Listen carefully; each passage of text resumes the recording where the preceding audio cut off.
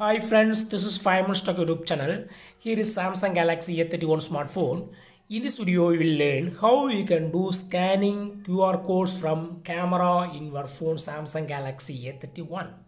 First of all, go to the notification area and click on scan QR code here and it will go to your camera. Now bring anything that has QR code. Here I have this box and I scan this QR code and result is showing now. Result is showing now here. You can read out. So in this way you can use your camera as a QR code scanner.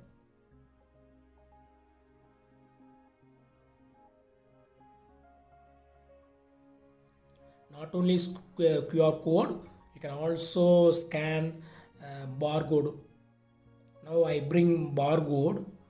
I scan this barcode and the result is showing in the screen. So in this way you can use your camera as QR code scanner in your phone. That's all friends. Bye.